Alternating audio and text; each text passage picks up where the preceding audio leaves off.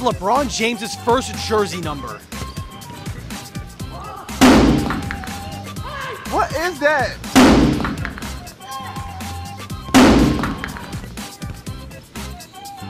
Twenty-three. That's correct. What does WNBA stand for?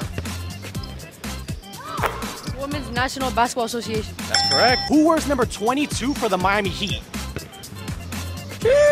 Jimmy Butler. Correct. Since you got two questions right and since you got one question right, you won $10 and you won $5. But if you guys are following me, both of your money's double. Are you? Okay, so you're following me, so you're gonna get 10. So do you? Yeah, I do. All right, you told me you're following me, so you're gonna get $20 just Thank like you. that. Thank you so much.